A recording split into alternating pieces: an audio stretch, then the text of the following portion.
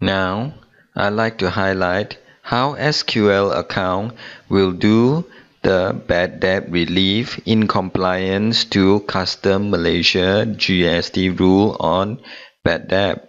First, in order to make best effort, you should always print out statement in customer report statement of account and you can print out a report like this by applying here and print out the statement just like this one with 4, 6 or 12 months aging.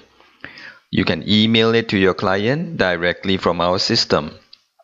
Once you have done that, on month number 5 or 6 and you still have not managed to recover the debt, then you can do a customer due listing letter.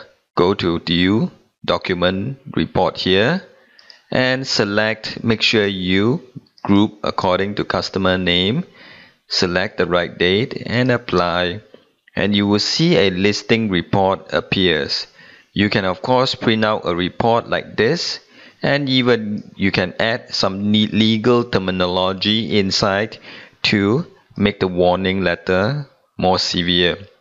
Now the warning letter or the overdue letter will clearly say the date the document type, the document number, the terms and the due date, and most important of all, show the number of aging days. Anything that is more than 180 days will be able to claim for bad debt relief from Custom Malaysia. If it's now more than 180 days, you can now go to GST return.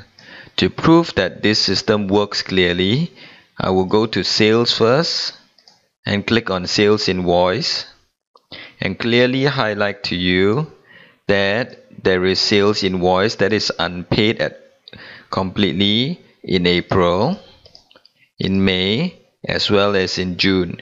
The April for bad debt relief invoices will be in October and the May will be in November and of course the June in December. Now let's proceed to process the first cycle from April to June. As you can see here, April to June, there is no bad debt relief because it has not reached 6 months. Then let's go to process the second GST return cycle from July to September. And again, there is no bad debt relief because it has not reached 6 months. However, on the third cycle I'm processing from October to December, I will have a bad debt relief is because April, May and June invoices now will be bad debt relief because no cus- the customer have not paid me. And these tax amounts add up together that I can claim back from custom will be 1367 ringgit and 66 cents but if you pay attention to billing payable here, there is also bad debt relief. This bad debt relief is actually six months ago. These are the invoices my supplier have issued me, but I have not paid them for the past six months. Therefore, the input tax I have claimed earlier, which is 1002, now I have to pay back to custom because I have not paid my supplier. This is only fair is because six months your client, your customer did not pay you, you can claim back your output tax. But at the same time, six months you did not pay your supplier. Therefore, the input tax you have claimed earlier now have to be paid back.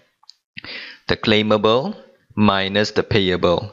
If I press on OK, you will be able to clearly see that the claimable is actually 167 ringgit and 66 cents. 1003 minus 1002, that is the balance figure.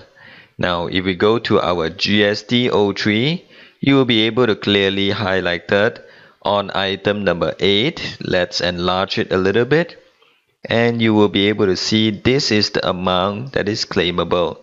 Now if you choose not to claim it, you can tick no and it will be deposited with customs for future refund.